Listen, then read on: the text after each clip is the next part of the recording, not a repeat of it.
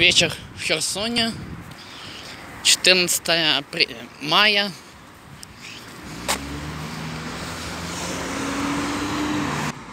Время 16.05. И народу ни души. Проспект Ушакова. И насувается дождичек. Идем мы с вами по улице Красного Креста. Переходим дорогу, идем на ту сторону, чтобы обойти здание областной больницы и зайти с Карла Макса. Машин мало.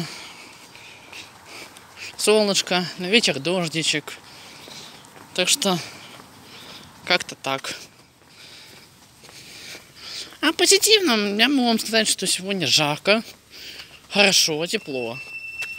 А в остальном, в остальном пока нормально все.